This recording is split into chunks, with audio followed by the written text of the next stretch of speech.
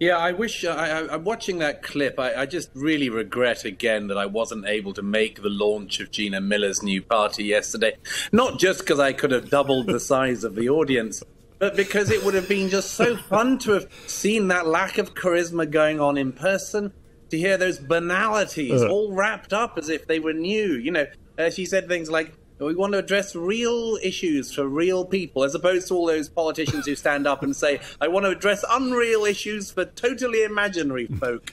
Um, anyhow, but the point is, is yeah. Gina Miller. This is, this is a great, a, a, a, a, just an absolute top of her career because remember all those years where Gina Miller was dragging out her court cases uh, uh, against Brexit. She always said it was a sort of um, a non-political act Whenever anyone said, Aren't you interfering yeah. in the nation's politics? She said, No, no, no. Hang on a minute. I'm purely exercising this legal right and testing a legal structure just to make sure that we're doing the right thing.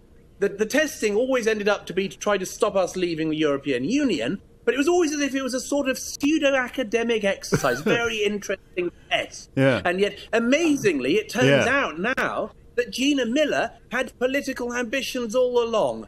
Who could have guessed it, Mark? Who could yes, have guessed it? Yes,